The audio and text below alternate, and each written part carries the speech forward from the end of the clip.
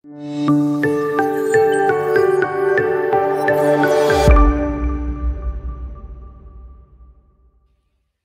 everyone, this is Kurt Frank, and welcome back to another episode of Teaching General Conference. This is a podcast or YouTube channel where we go talk by talk through the uh, General Conference. I guess we're, currently we're on October of 2022. We go through each talk and discuss how we can approach a lesson through that specific talk. So we're not here to dissect doctrine or concepts uh, in the actual talk. Mainly just how are how would you how could we go about actually teaching this, this content. And today we are focusing on, or in this episode, we are focusing on Sister Tracy Y. Browning's talk, Seeing More Jesus Christ in Our Lives. And so um, let's jump into this. So, the first thing that uh, I'm always focusing on, you know, this to do one run through of the talk and try and pin, uh, pick out doctrinal themes, right, or doctrinal sentences that are connected to as much of core doctrine as possible. And you can go check out the mini episode. I believe it's titled "Teaching Core" or "Teaching Redemptive Doctrines" to to understand more about uh, the strategy. But we're going to go through, and what you want is to you don't you're not looking for principles or applications or stories or anecdotes. You're looking for doctrine, and it may be hidden in an anecdote or a story, but uh, nonetheless, that's where you want to go. And again, I don't claim to have picked out every last doctrinal concept in this, but let me just show you what I came up with. I always put those doctrinal statements in yellow. So here's one Our Savior's love for us individually and as his covenant children, and also his teachings and laws are available daily resources that we can depend on to be a light which shineth, enlightening our eyes and quickening our understanding. As we seek for the blessings of the Spirit in our lives, we will be able to, as Jacob taught, see things as they really are and as they really will be. As covenant children of God, we have been uniquely blessed with a rich supply of divinely appointed tools to improve our spiritual vision. So I actually broke these up. These are two, I feel like they're kind of two uh, standalone doctrines. So this is being that the um, the Savior's love for us um, as his covenant children teaches and also his teachings and laws are available daily resources. So the doctrine is is that god is giving has given us resources. That is a doctrine. That is a truth. It's a core doctrine i would even argue right? That uh, from the beginning of time he's always given his his children especially his covenant children tools and power. And uh, president nelson talked a lot about this concept. As well that's an ongoing theme definitely in this october 2022 general conference and then the second one, right? A covenant child of God, we have been uniquely blessed with a rich supply of divinely appointed tools. So I guess a little bit, uh, I guess it's very similar, but one is talking about resources, one, one is talking about tools. So you see how your mind is beginning to think, okay, what if we had a lesson where we moved in this direction of talking about what are these tools that, that God has given us? How would we identify them, right? All right, so we'll come back to that. Jesus Christ is both the purpose of our focus and intent of our destination right? Jesus Christ is obviously doctrinal, right? Um, that's at the core. His sacrifice and his laws and commandments in their lives, it was intended to bring them to greater understanding of their Redeemer. Okay, so we are given laws and commandments so that we have a deeper understanding of our Redeemer. Just as we are today, God's ancient people were invited to see their lives through him in order to see more of him in their lives. But by the time the Savior's ministry of the Israelites had lost sight of Christ and their observance, setting him aside and adding to the law unauthorized practices that no instructive symbolism pointing to the true and only source of their salvation and redemptive Jesus Christ. This, I mean, what a powerful statement. This could be your entire lesson, could be this paragraph. Now, the doctrinal concept is a little bit hidden in there because she's sort of um, explaining it in the context of the children of Israel and right now, but the the doctrine there, and you may even want to note these, right? Um, you may want to note these uh, either with a tag or you uh, or leaving a note here if you're do, using the gospel library. And the doctrine here is that the Savior should always be at the focus. It should not be uh, commandments should not be the core or the focus of our, our worship. Um, ordinances or the way we do things should not be the center. It should all feedback to Jesus Christ. And again, if you go to listen to the mini episode of uh, teaching redemptive doctrine, uh, this is exactly the concept I'm I unpacked in that episode as well. Uh, his final sacrifice led the shift from sacrificial burnt offerings to our rendering of a broken heart and a contrite spirit from the ordinances and sacrifice to the ordinance of sacrament. So this man, a whole nother lesson just in that those few lines, right? So the, the concept, the doctrine here is that we don't give burnt offerings anymore, but we now offer ourself. And this uh we may come back to this President Ballard quote, which is a mic dropper for sure. And so that's it. Obviously, those talks that aren't in from the first presidency, they're Quorum 12, they're a little bit shorter, right? And so it makes it a little more uh, digestible and easier to approach to to pack into a lesson. Okay, so I encourage you to do that. Go through and just do one read over. As you know, you don't want to go through it too fast, but asking yourself the way through, where's the doctrine? Where's the doctrine? Where's the doctrine? Because that'll be your foundation to launch off into uh, into an actual lesson. Now I got to get used to this since um, this the nature of this podcast isn't like others where you listen to every episode. Maybe you will listen to every episode. Bless your heart. Uh, you're an overachiever for sure, but I would imagine most people will come back and uh, jump into one episode depending on what they're teaching. So because of that, I strongly encourage you to to listen to all of the mini episodes, and that's where I unpack principles of teaching that can be really applied to any conference talk. So, one principle I'll note here is going through this, pointing out all the doctrine, doctrinal statements or concepts. That doesn't mean you're going to teach all of them, but what that uh, what that does is helps you find one specific doctrine that you can launch into and teach from there, just that doctrine. And you can actually fill 40, 50 minutes very easily by doing that. All right, so now let's talk about the warm up uh, portion of your if you're teaching this class. So this is a a crucial concept that as you go into teaching a general conference talk, you don't want to just start into it, right? Maybe you read one paragraph. It's natural to just, you know, read one paragraph and then just say, so what do you think about that? Or uh, does anybody have any thoughts on this talk? Or who remembers this talk? Did you like it? What what stood out to you? Or we like to assume that everybody's uh, been a good student and read the conference talk beforehand. And we like to give them the benefit of the doubt and assume they have read it. So then we'll ask things like, So what stood out to you in this talk? And everybody's blinking at you because they didn't do their homework, right? And they didn't prepare for this lesson other than maybe listen to it when General Conference originally aired. So you want to warm up the room. And again, I'll talk, uh, check out the mini episode about this at the time of this recording. I haven't recorded it yet, but uh, maybe when you come back to it, by the time you're listening to it, it'll be there but this concept of warming up the audience that if you want people to participate and engage in your lesson, when you ask a question, if you want them to answer back, you have to warm them up.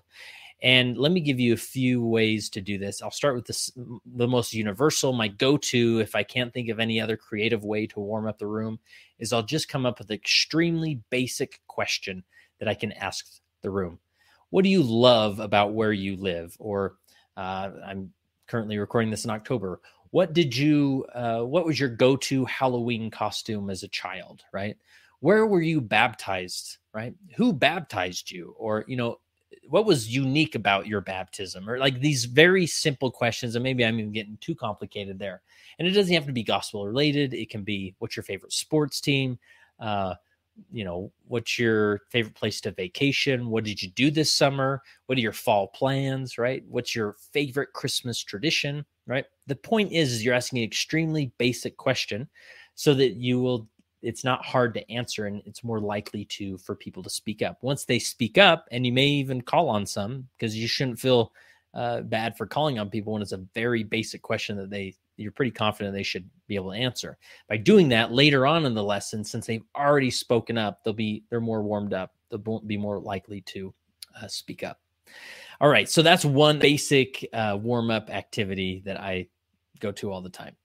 Um, the other thing to do is in this in this talk, Sister Browning shares a story or a concept about when she wakes up, the first thing she reaches for are her glasses.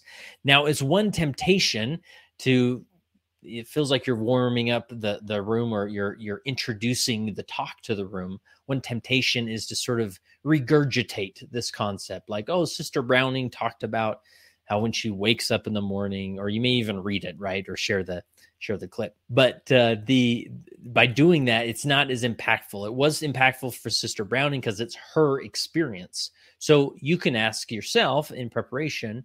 I understand the concept that Sister Browning is teaching. How does that apply to my life as far as what's an example from my life or a concept in my life where I could teach the same thing, share it with the class, and do that, right?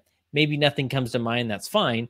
You can still focus on the the glasses and that concept just don't regurgitate it. So for example i found on amazon there's this game. I, I think my mom actually has this game and you don't necessarily need to buy it just for your lesson. Maybe you do and then you'll fam- your family will have a fun family game to play.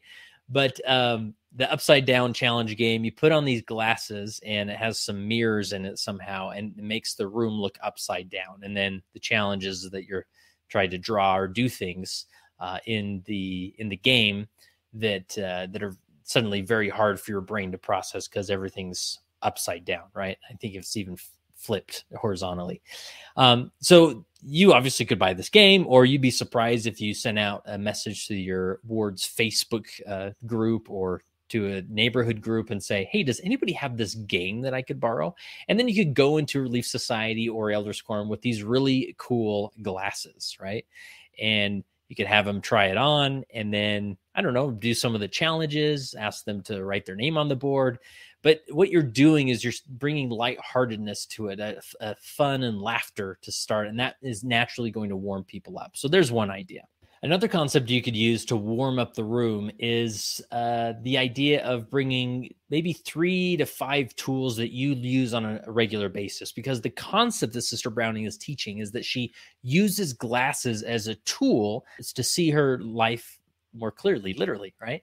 And so you may think of some tools that you use, not necessarily to see life more clearly, but to function in life more effectively, right? And it's a way to sort of introduce yourself. Maybe you're a woodworker, so you'll bring in some woodworking tools, or you're a mechanic, you bring in some mechanic tools, whatnot, and uh, or you can invite just to engage some. Um, some class members is call in advance and just ask maybe three to five participants in their class to bring one tool that they often use and then it gives them an opportunity to stand describe the tool and then you can ask them some follow-up questions like so how does this make your life easier? How would you f- do these jobs and responsibilities if you didn't have that tool? Right? What would that look like? And again you're you're laying out the foundation of this concept which will launch into these doctrines that you'll focus on that sister browning focus on as well.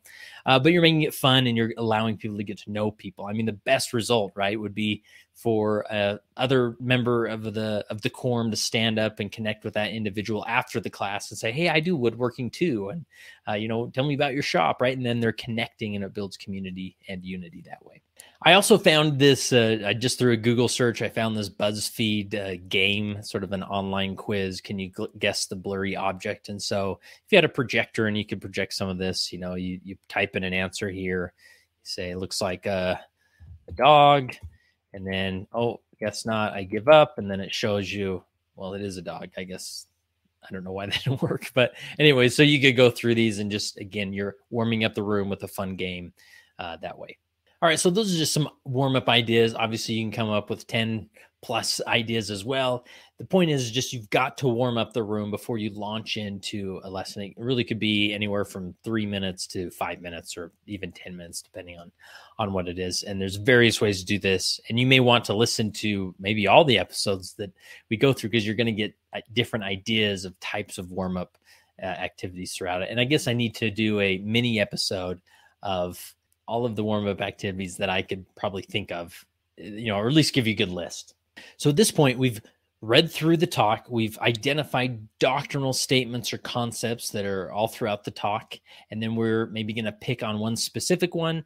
We're going to use a warm up activity that's going to introduce them to that doctrinal point.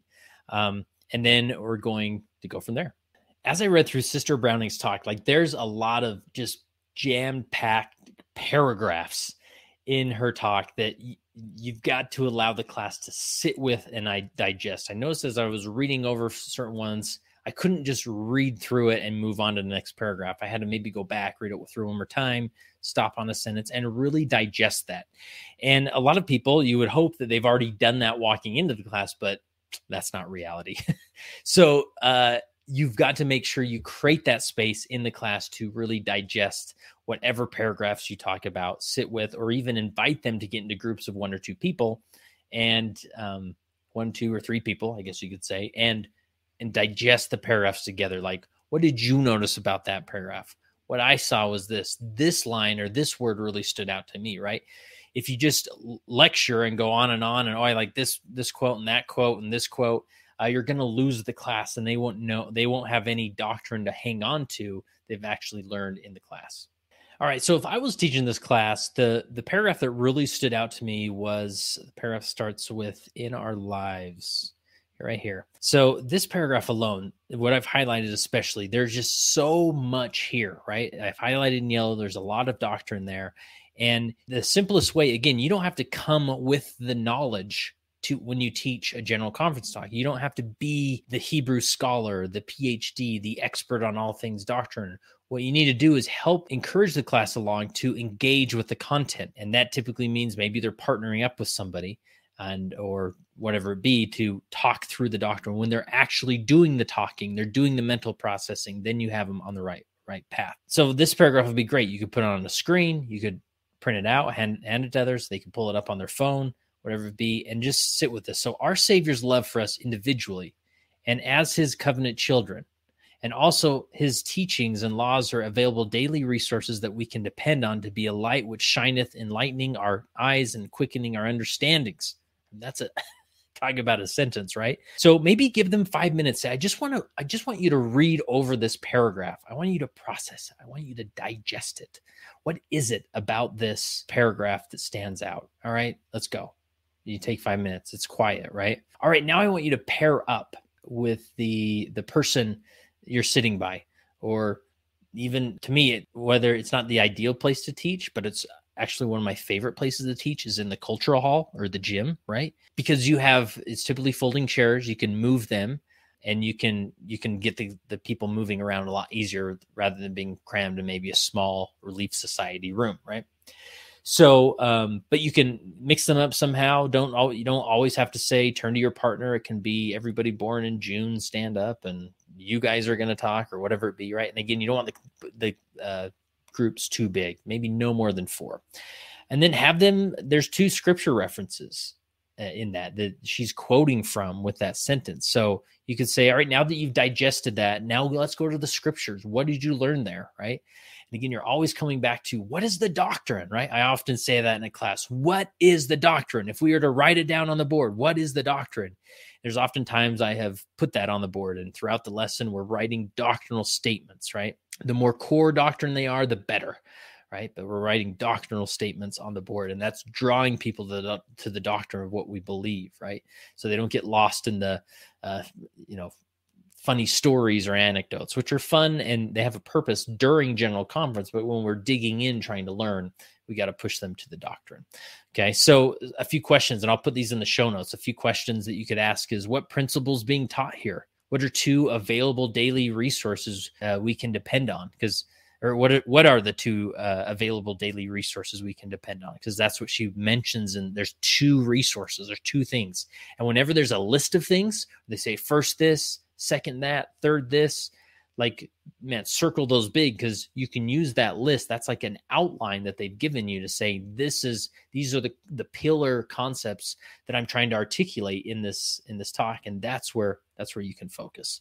And that's where you can build a lesson and find deeper understanding and have a spiritual experience there. Um, another question asked is, what do these phrases look like in real life? Because she uses these three phrases be a light which shineth, enlightening our eyes, quickening our understanding. Because in general conference, a, a, thing that happens is that obviously they're, they're trying to put this talk together. They have a time constraint. They're talking to a huge international audience. And so sometimes they'll use these broad phrases that on the surface, they sound good, but like, what do they really mean? And so pushing that uh, classroom past that and saying, okay, these sound cool, you know, be a light which shineth and enlightening our eyes. Like, what does that actually mean? What does that look like in real life? Another one is when have you seen these? Uh, another question you ask related to this paragraph. When have you seen things as they are and as they really will be? Take two minutes. Everybody sit with that. When have you seen things as they really are? Again, what does that even mean? It's a very scriptural term, but what does that mean in 2022 or 2023, right? What does that mean? And then you're engaging them to talk on a deeper level. And don't be satisfied with the the superficial answers of like oh just it means to be an example. Like okay like give me give me an example of you being an example. Like was it in the office? Like how do you show up to work? It's easy to say those phrases right? So you're pushing them intellectually to come up with that application in their life. And then or they may think oh wow you know i can think of things i should do to set an example but i'm not doing it right? Again that's for the spirit to to discover for them. All right that which i've already gone over i've got a few more ideas to share but that alone what i've shared if if i was to teach this lesson like easily that's 40 minutes right? And maybe i do my media you know uh, media mix up which i'll talk about and you do a, a i'll do a mini episode about that which is just interjecting different forms of media to mix up the pacing mix up the tone mix up the environment to a place that it draws people in and i'll go over that in just a minute. But uh, there's also a paragraph of a covenant that starts with the covenant children. So it's actually the next paragraph, right? All right.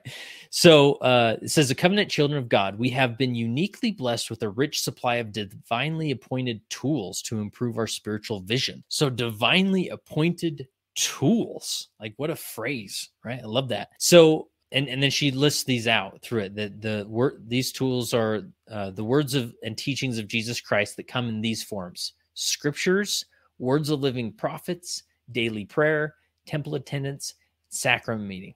So, a simple question you could ask is How have these tools helped you restore peace and provide the necessary gift of discernment, which she also mentions in that paragraph? So, give them two minutes, help them sit with it and think about it. What are the, um, because you're helping them, you're, you're, you're inviting them to connect the dots themselves. You could stand up there and say, This is how I connect the dots. But you want to turn to them and say, You connect the dots because you'll have a, it's a brain trust, right? You will get better examples.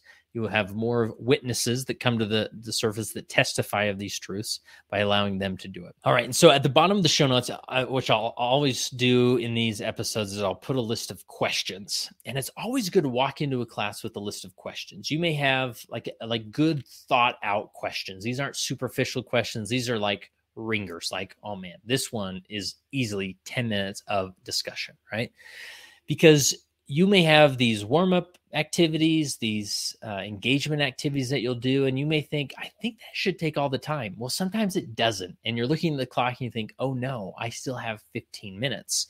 So I always go in with a list of backup questions that are thought out questions that come to my mind as I read through the conference talks. And so I encourage you to go look at the bottom of the show notes. I have, well, currently, I'll probably think of more, but there's about 10 or so questions there that you could easily go to. You can, in those moments, we have 15 minutes later, you can say, Thank you, Kurt, for putting those questions there because I can rely on them. Or, of course, it's always best if you come up with your own questions.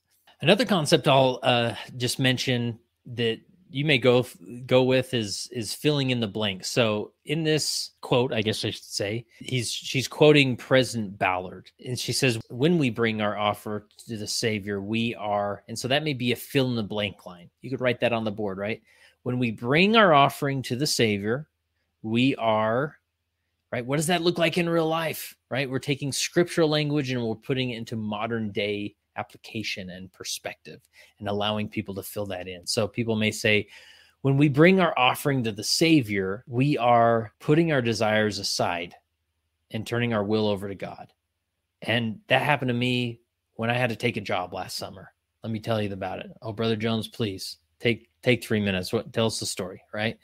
And there's going to be moments of like when God witnessed to them of of His reality in their life, right? so that's another activity you can do. All right, so hopefully that gets the ball rolling. Obviously, I'm not suggesting you use all my ideas or that I have this perfect lesson plan that'll be a home run every time. I'm sure it was not going to work for everybody every time.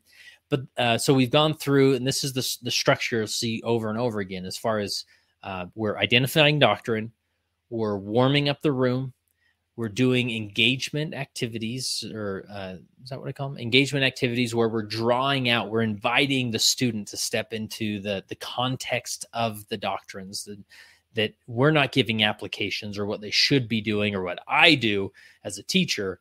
You're giving them application or you're inviting them to share applications allowing for for witnesses to to stand. And what I mean by that is you may see someone raise their hand and have a passionate response to somebody or just to a concept or a, a passionate response to a doctrine. And you'll lean in and you'll say, Wow, Sister Smith, like tell me more about that.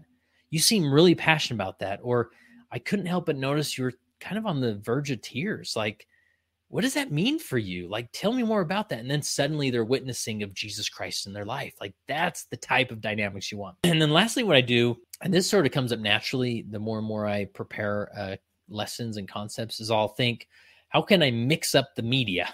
Okay. Because what happens is if we just, uh, you'll maybe notice this in sacrament right? There's a clear cadence of sacrament. It's a very lecture uh, focused cadence, which is fine. It works for sacrament meeting. I think there's a place for it, but not in the classroom, right? We've been asked to get away from lecturing and whatnot. And so, but what happens if someone just lectures for 40 minutes?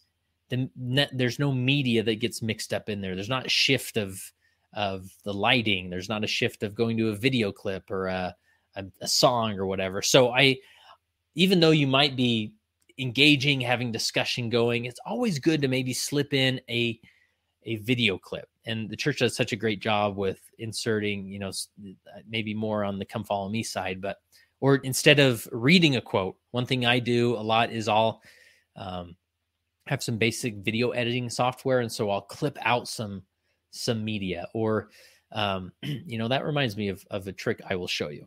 Well actually i'm going to make a note. I'll turn that into a mini episode. Basically how you can easily take a youtube uh, the youtube version of a conference talk and easily find the uh, you know mark the clips if you want to go into a specific paragraph there's a really simple way to do that. So i'll make a, a mini episode about that as well. But the point being is at the end of the lesson you want to or at the end of your lesson preparation you want to ask have i mixed up the median enough?